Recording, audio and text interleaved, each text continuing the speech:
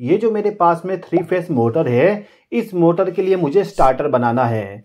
और इस मोटर को चालू और बंद करने के लिए कंडीशन यहाँ पर यह है कि यदि मैं इस फुट स्विच को केवल एक बार प्रेस कर दूँ तो मोटर ऑन हो जाए। उसके बाद इसको बंद करना हो यदि मुझे तो इसी फुट स्विच को मुझे दोबारा से प्रेस करना पड़ेगा।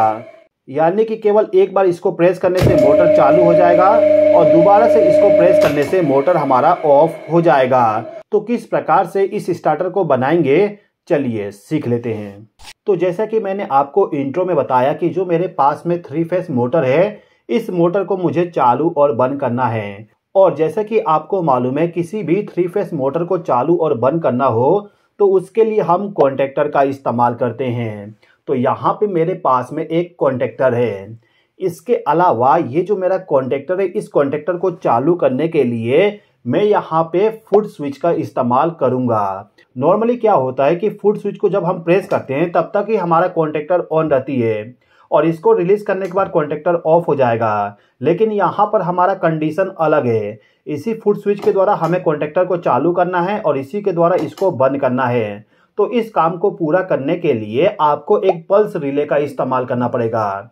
ये जो डिवाइस आप देख रहे हो, इसको हम कहते हैं पल्स रिले देखिए दोस्तों, जो पल्स रिले होता है, उसका काम ये होता है कि यदि उस रिले को हल्का सा भी एक पल्स सिग्नल मिलता है तो उस कंडीशन में इसके कॉन्टेक्ट को चेंज कर देगा। मान लीजिए कि अभी के टाइम पे ये ऑफ़ कंडीशन में है। आप देख सकते हो यहाँ पर ये वाला जो स्विच है, वो नीचे की तरफ़ है, यानी कि ऑफ़ है। यदि आप इसको पल्स सिग्नल दोगे तो ये ऑन हो जाएगा।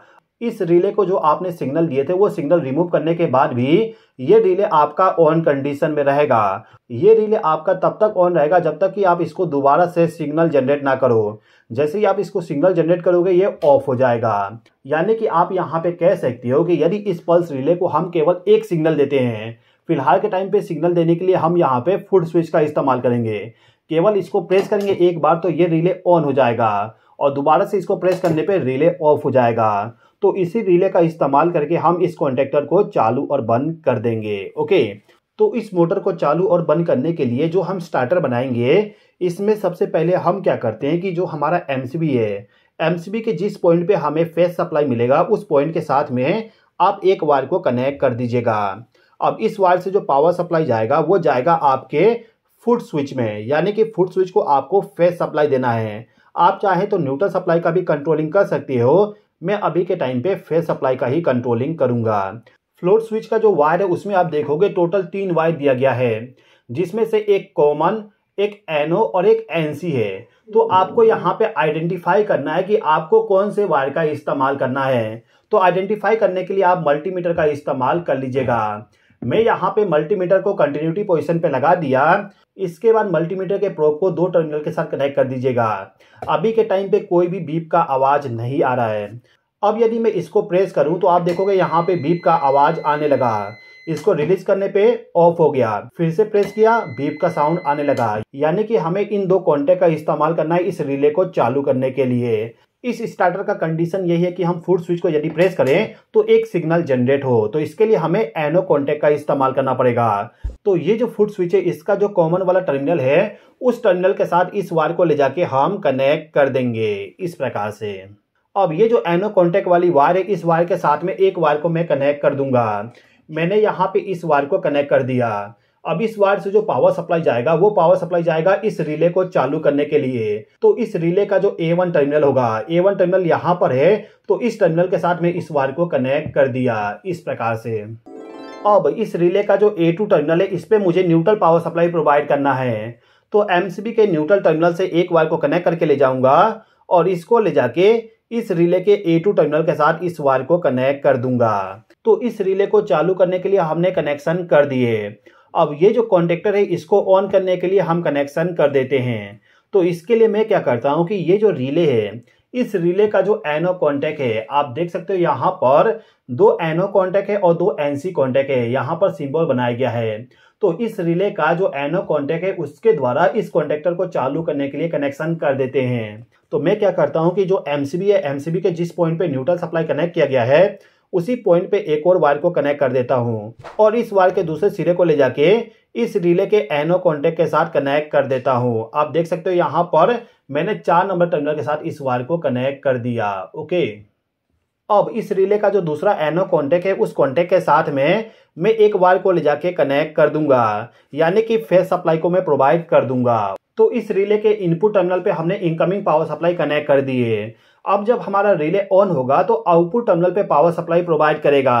तो मैं यहाँ पे एनो कॉन्टेक्ट के साथ फेस सप्लाई वाले वायर को कनेक्ट कर दूँगा और इस वायर को ले जाके कॉन्टेक्टर के ए वन टर्मिनल के साथ कनेक्ट कर दूँगा। आप देख सकते हो यहाँ पर कॉन्टेक्टर का ए वन टर्मिनल यहाँ पर है तो मैंने फेस सप्लाई दे दिया और इस पॉइंट से हमने फेस सप्लाई को लेके आए हैं ओके इसी प्रकार से जो दूसरा एनो कॉन्टेक्ट है जिसमें हमने न्यूट्रल सप्लाई कनेक्ट किए थे, उसके आउटपुट टर्मिनल पे हम एक वायर को कनेक्ट करेंगे। इस वायर से हमें न्यूट्रल सप्लाई मिलेगा तो इसको ले जाके कॉन्टेक्टर का जो ए टू टर्मिनल है, यहाँ पर ए टू टर्मिनल है तो इस टर्मिनल के साथ हमने इस वायर को कनेक्ट कर दिए फेस सप्लाई यहाँ से मिल जाएगा और न्यूट्रल सप्लाई इसको यहाँ से मिल जाएगा। फेस और न्यूट्रल सप्लाई मिलने के बाद हमारा कॉन्टेक्टर ऑन हो जाएगा। तो ये जो स्टार्टर है, इसको चालू और बंद करने के लिए कंट्रोल वायरिंग कंप्लीट हो गया। इसके अलावा इस मोटर को चालू और बंद करने के लिए हमें पावर वायरिंग करना था तो मैंने यहाँ पे डायरेक्टली पावर वायरिंग कर दिया।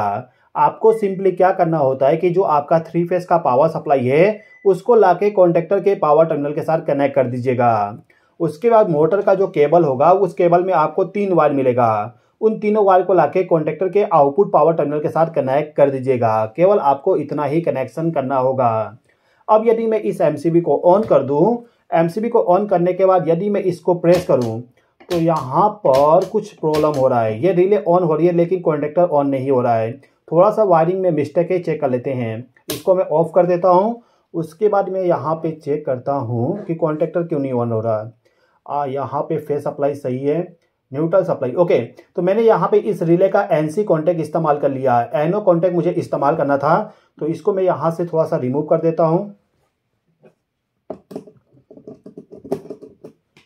इस वायर को यहाँ से रिमूव किया और एनो कॉन्टेक्ट के साथ कनेक्ट कर दिया। देखिए, छोटा सा मिस्टेक किया जिसके वजह से मेरा स्टार्टर ऑन नहीं हो पाया। तो जब भी आप कभी कंट्रोल वायरिंग करो तो हमेशा वायरिंग को ध्यान में रख के और एक बार चेक कर लीजिएगा चालू करने से पहले। ओके तो यहाँ पर हमारा पूरा कनेक्शन हो चुका है। अब यदि मैं कंट्रोल एमसीबी को ऑन करूँ उसके बाद यदि मैं इस स्विच को प्रेस करूँ तो आप देखोगे यहाँ पे हमारा मोटर चालू हो चुका है। अब यदि मुझे इस मोटर को बंद करना है तो सिंपली इस फुट स्विच को दोबारा से एक बार प्रेस कर दूँगा। आप देख सकते हो हमारा कॉन्टेक्टर ऑफ़ हो गया। एक बार और देखिए फुट स्विच को प्रेस करने से मोटर चालू हो गया और फुट स्विच को प्रेस करने के बाद मोटर ऑफ़ हो गया। तो दोस्तों, मैं उम्मीद करता हूँ कि आपको ये वीडियो पसंद आया होगा।